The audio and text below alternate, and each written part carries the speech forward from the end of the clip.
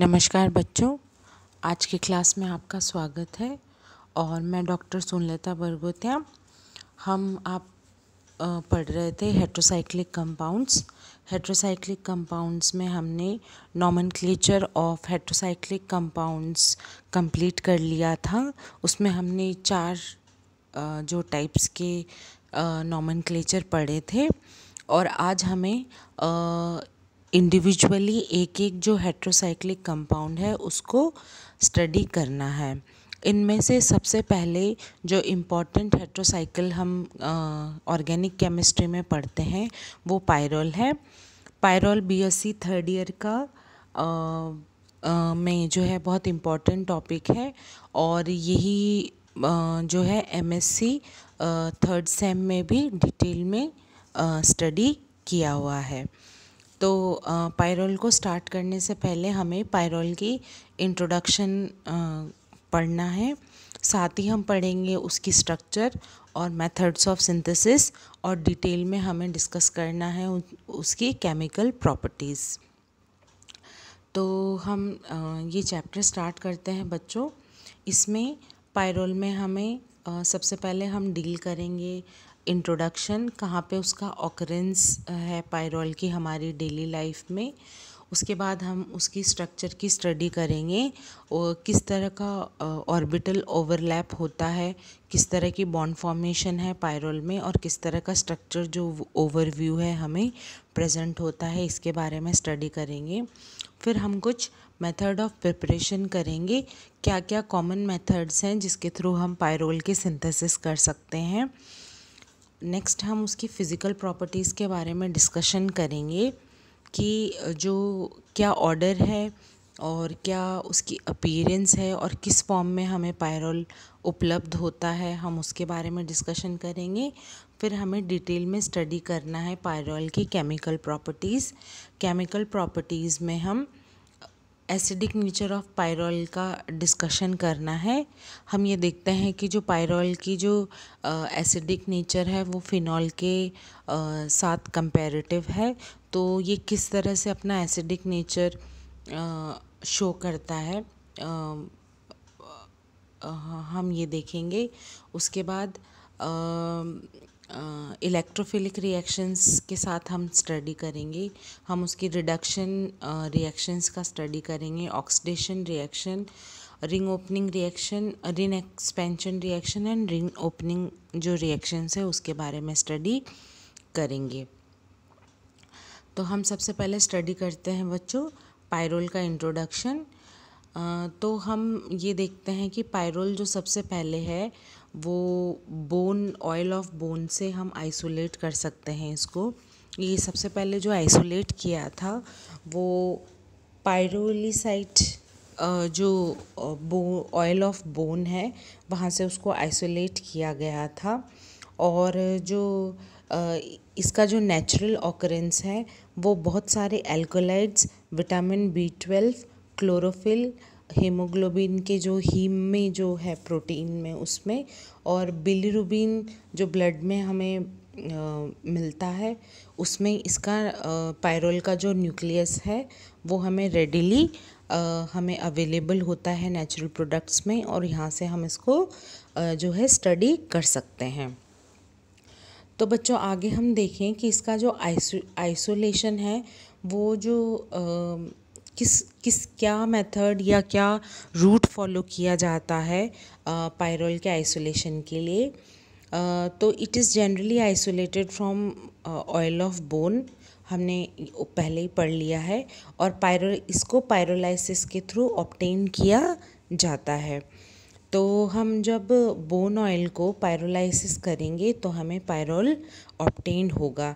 इसके लिए हमें बोन ऑयल जो है, उसको एल्कलाई मतलब एसिड और बेस से एल्कलाई एंड एसिड से थोरो वॉश करना पड़ेगा ताकि हमें जो नेक्स्ट जो एक्सट्रैक्ट मिले वो फ्री हो फ्री फ्रॉम एक्स्ट्रा जो हमें उसमें एसिडिक एंड बेसिक जो सब्सटेंस इम्प्योर सब्सटेंस की जो अवेलेबिलिटी है उससे हम फ्री हो सकें। और फिर उसका फ्रैक्स फ्रैक्शन डिस्टिलेशन अगर हम कराते हैं तो हमें इम्प्योर पायरोल उपलब्ध होता है। इम्प्योर पायरोल फ्री फ्रॉम मतलब एसिडिक एंड बेसिक इम्प्योरिटीज से रहता है, जो फ्रैक्शनल डिस्टिलेशन के थ्रू हमें उपलब्ध होता है। उसके बाद अगर हम उसका fusion with K O H कराएँ पोटेशियम हाइड्रोक्साइड के साइड तो हमें पोटेशियो पायरोल उपलब्ध होता है, जो भी एक फॉर्म ऑफ़ पायरोल है। और फिर उसका स्टीम डिस्टिलेशन के थ्रू हमें प्योर पायरोल उपलब्ध होता है, हमें प्राप्त होता है। तो ये जो मेथड है, ये जो चार्ट, एक रूट जो है, वो हम आइसोलेशन ऑफ़ पायरोल में यूज़ करते हैं।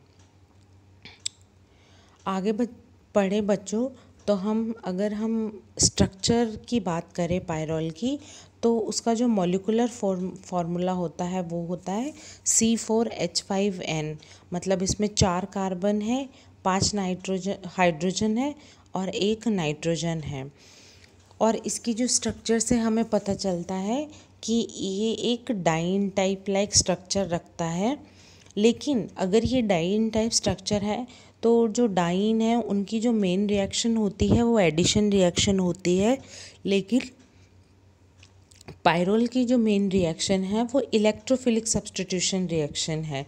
यानी pyrrole electrophilic substitution reaction show करता है। यानी ये एरोमेटिक कैरेक्टर शो करता है। हम ये जानते हैं बच्चों, जो एरोमेटिक कैरेक्टर शो करते हैं, उनकी एक जो स्पेसिफिक रिएक्शन होती है, वो इलेक्ट्रोफिलिक सब्सटीट्यूशन रिएक्शन होती है। और डाइन कैरेक्टर होने की वजह से ऐसा माना गया था कि एडिशन रिएक्शन इसमें शो होनी चाहिए, लेकिन ऐसा होता नहीं है। इसके अलावा हम देखते हैं बच्चों, कि इसकी जो रेजोनेंस एनर्जी है, वो 87.5 किलो जूल पर मोल है। और जो कॉन्जुगेटेड डाइन अगर ये शो होता या शो अगर ये एग्जिबिट करता तो इसकी जो एनर्जी है वो around twelve point five kilo joule पर मोल होनी चाहिए थी। लेकिन ये एक एरोमेटिक टाइप कैरेक्टरिस्टिक शो करता है, जो इसी वजह से इसकी energy eighty seven point five kilo joule पर मोल हमें मिलती है। नीचे मैंने कुछ स्ट्रक्चर्स ड्रॉ किए हुए हैं। ये पायरोल के ही स्ट्रक्चर्स हैं। हम ये देखते हैं कि इसमें जो फ़र्स्ट जो नंबर्ड है वो नाइट्रोजन है और नाइट्रोजन के ऊपर लोन पैर है जो एक हाइड्रोजन से जुड़े हुए हैं। उसके अलावा हम देखते हैं कि यहाँ पे चार कार्बन है और चार कार्बन जो हैं उसके अलावा हम ये देखते हैं कि यहाँ पे उसके अलावा हम ये देखते हैं कि ये जो पाई बॉन्ड है वो ऑल द थ्रू रिंग में फुली रेजोनेंस के थ्रू जुड़े हुए हैं। रेजोनेंस स्ट्रक्चर है ये। अगर हम नंबरिंग करें इनकी तो हेट्रोएटम से स्टार्ट करते हुए one two three four and five इसकी जो रिंग की है, वो हम नंबरिंग कर सकते हैं। साथ ही साथ ही हम देखते हैं कि सभी जो कार्बन और नाइट्रोजन है, वो एस पी टू हाइब्रिडाइज्ड है। हम ये देखते हैं कि सभी जो नाइट्रोजन और कार्बन है, वो एस पी टू हाइब्रिडाइजेशन रखते हैं। आगे बात करें बच्चों, अगर हम इनकी ऑर्बिटल स्ट्रक्चर को अगर हम डिस्कस करें तो हम ये देखें देखें कि हमारे पास चार कार्बन है हमारे पास चार कार्बन है। चारों कार्बन जो है, वो एक एक हाइड्रोजन से जुड़े हुए हैं। उसके अलावा हमारे पास एक नाइट्रोजन है। नाइट्रोजन भी जो है, वो हाइड्रोजन से जुड़ा हुआ है। अगर हम कार्बन को ग्राउंड स्टेट में देखें तो ग्राउंड स्टेट में जो कार्बन की जो कन्फिग्रेशन है, वो है two S two and two P two. अगर हम फिर कार्बन को एक्साइटेड स्टेट में देखें तो टू एस वाला जो इलेक्ट्रॉन है, वो पी ऑर्बिटल में एक्साइट हो जाता है तो हमें ये वाली कन्फिग्रेशन प्राप्त होती है। एस पी टू हाइब्रिडाइजेशन होने की वजह से एक एस का और दो पी के ऑर्बिटल यूज़ हो जाते हैं। तो हमारे पास एक ऑर्बिटल जो पी का है वो बचता है जो अनहाइब्रिडाइज रह जाता है, जिसमें हम एक इलेक्ट्रॉन उपस्थिति, उपस्थित देखते हैं। उसी तरह से अगर हम नाइट्रोजन की ग्राउंड स्टेट देखते हैं बच्चों नाइट्रोजन की ग्राउंड स्टेट है two S two and two P three excited state में क्योंकि एस पी टू हाइब्रिडाइजेशन है तो एक जो नाइट्रोजन एक जो इलेक्ट्रॉन है टू एस का, वो पी ऑर्बिटल में जाके यहाँ पे एक्साइट हो जाता है तो अगर हम एस पी टू हाइब्रिडाइजेशन को one S and two P orbital को रहने दें तो एक ऑर्बिटल ऐसा बचता है जिसमें दो इलेक्ट्रॉन उपलब्ध हैं। यानी कार्बन में तो एक ऑर्बिटल ऐसा उपलब्ध है, जहाँ एक इलेक्ट्रॉन उपलब्ध है और नाइट्रोजन में एक ऑर्बिटल ऐसा उपलब्ध है, जहाँ पे हमारे पास दो इलेक्ट्रॉन उपस्थित हैं। तो जैसा कि मैंने ऑर्बिटल डायग्राम में शो किया है। हर कार्बन पे अनहाइब्रिडाइज्ड पी ऑर्बिटल में एक एक इलेक्ट्रॉन उपस्थित है। हर कार्बन में जो है अनहाइब्रिडाइज्ड पी ऑर्बिटल में एक एक इलेक्ट्रॉन उपस्थित है, जैसा कि हमने नीचे के ऑर्बिटल डायग्राम में शो किया है। उसी तरह नाइट्रोजन के एक ऑर्बिटल में दो नाइट्रोजन है और दो इलेक्ट्रॉन है, जो कि मैंने यहाँ पे अनहाइब्रिडाइज्ड पी ऑर्बिटल में शो किए हैं। इस तरह से हमारे पास चार तो कार्बन के प्लस दो नाइट्रोजन के हमारे पास टोटल सिक्स इलेक्ट्रॉन जो है, उपलब्ध हैं। इसके अलावा डिस्कस करते हैं कि ये जो इलेक्ट्रॉन है, ये जो रिंग में रेजोनेंस्ड है डीलोकलाइज्ड है ऑल ओवर द रिंग ये ऑल ओवर द रिंग में सर्कुलेटेड है डीलोकलाइज्ड है, इस वजह से ये एरोमेटिक कैरेक्टर शो करता है। इसके अलावा जो पाँच जो हाइड्रोजन जो हैं, वो अपने अपने एटम से सिग्मा बॉन्ड के थ्रू जुड़े हुए हैं। चार कार्बन पे चार हाइड्रोजन सिग्मा बॉन्ड के थ्रू है। उसके अलावा एक नाइट्रोजन के साथ भी हाइड्रोजन है जो सिग्मा बॉन्ड के साथ जुड़ा हुआ है। और जो अनहाइब्रिडाइज्ड पी ऑर्बिटल है, ये perpendicular to the plane of the ring है। हम ये देखते हैं कि अनहाइब्रिडाइज्ड पी ऑर्बिटल्स जो भी हैं, वो perpendicular to plane of the ring है। तो इस तरह से हम इसको समराइज़ कर सकते हैं। आगे बात करें बच्चों, हम अगर प्रिपरेशन की बात करें पायरोल की तो हम फ़र्स्ट मेथड पढ़ते हैं इसमें एसिटिलीन एंड अमोनिया के साथ प्रिपरेशन हम दो मॉलिक्यूल ऑफ़ एसिटिलीन लेते हैं and one molecule of ammonia लेते हैं. तो रेड हॉट ट्यूब में रेड हॉट ट्यूब में इनको मिक्स करने के साथ हमें पायरोल की प्राप्ति होती है एंड हाइड्रोजन लिबरेट हो जाती है. तो फ़र्स्ट मेथड ऑफ़ प्रिपरेशन है. Acetylene and ammonia